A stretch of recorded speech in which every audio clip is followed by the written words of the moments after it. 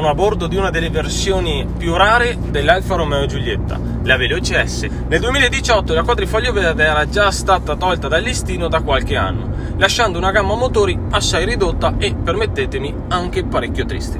Così come un fulmine a ciel sereno Ecco che Alfa Romeo presenta una serie speciale di soli 200 esemplari denominata Giulietta Veloce S e sotto al cofano il 1750 TB, il famosissimo 4 cilindri in linea turbo eroga 240 cavalli, 340 Nm di coppia, 0 a 100 in 6 secondi netti con una velocità massima pari a 244 km/h.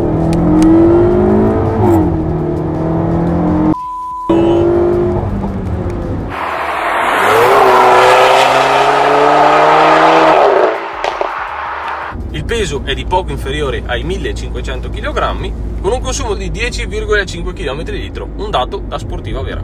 Arriveranno diverse Giulietta con questa motorizzazione sul mio canale e col tempo vedrete tutte quelle che ho in lista. Questa in particolare è senza dubbio un vero e proprio unicorno, una versione speciale per il propulsore più grosso di tutti, il Non Plus Ultra. Come vi dicevo, pochissimi esemplari realizzati, sfortunatamente non numerati, non ci sono targhette o placchette in giro per l'auto a numerarle, realizzati ad un prezzo decisamente elitario ed ho avuto la possibilità di poterla guidare grazie ad un professionista legato al marchio del Biscione. Oggi infatti sono nell'autofficina di Piva Sabino, attiva dal 1984 come officina ufficiale Alfa Romeo che offre anche i servizi di elettrauto, gommista, centro revisioni ed elaborazioni. Si occupa inoltre di tutti i principali marchi automobilistici. Per qualsiasi intervento sul tuo bolide trovi il link in descrizione.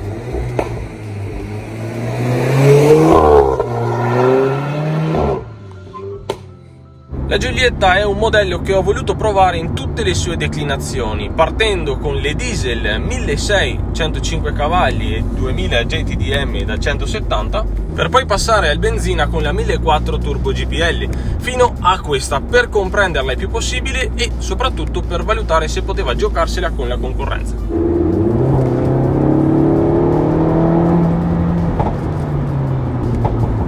Volevo capire direttamente se Alfa Romeo non meritasse una chance con questo modello che ha indubbiamente venduto tanto e che fino ad ora non mi ha assolutamente deluso, anzi.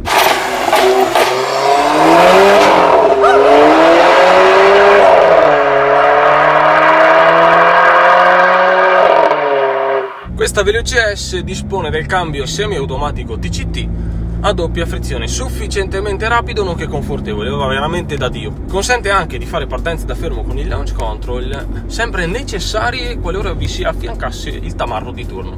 Avendo provato parecchie tedesche sportive con cambi quali S-Tronic o DSG, posso dire che il TCT a disposizione della Giulietta non si comporta affatto male. A mio parere è leggermente più in ritardo di risposta ma non è una differenza tale da considerarlo scadente o addirittura inferiore, insomma, è un buon cambio. Entra subito. Adesso la passo in dinamica. Quindi aumentati i giri motore, sicuramente la risposta sarà molto turbo e aggregativo è precisissima. La trazione anteriore è un discriminante per tantissime auto, ma non è così sofferente.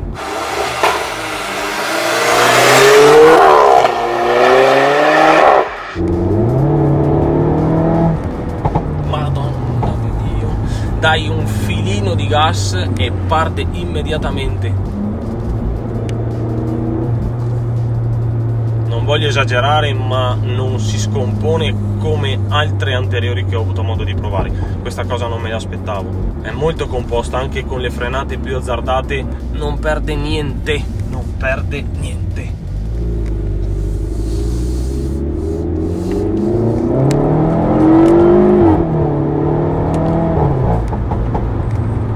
Ma che bella è, ma che bella è.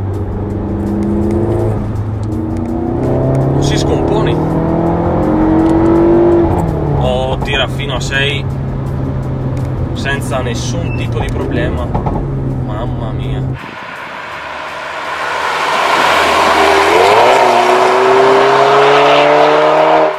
Guardate quanto c***o è precisa Ora, io non voglio scomodare paragoni per carità perché le potenze sono anche differenti, però per darvi un'idea, la Civic Type R FK8 che ho avuto modo di provare a 320 cavalli turbo sul 2000 VTEC è un missile ma si scompone di più. Però sentite il potenziale, sentite il potenziale di questa Giulietta. È fantastica, è fantastica, penso si vede insomma. È fantastica, non pensavo neanche mi piacesse così tanto, sono sincero. oggi sto tornando bambino. Esteticamente è un modello azzeccatissimo, sportivo, a personalità non passa inosservata. Mi è sempre piaciuta e sono stato davvero contento che Alfa fosse tornata concretamente attiva con una 5 porte di questo genere. Il progetto ha ormai 11 anni, ma obiettivamente la linea non è invecchiata granché. Quella che sto guidando è bellissima, con la livrea nero Alfa e svariati dettagli che la rendono appunto una versione speciale. Le caleotte dei fari, la calandra e le minigonne in carbon look, mentre le caleotte degli specchietti retrovisori sono in vero carbonio. I bellissimi cerchi in lega da 18 pollici su pneumatici 225-40 che incorniciano l'impianto frenante Brembo maggiorato, con dischi autoventilanti da 330 mm all'anteriore e ovviamente le pinze a contrasto verniciate di rosso.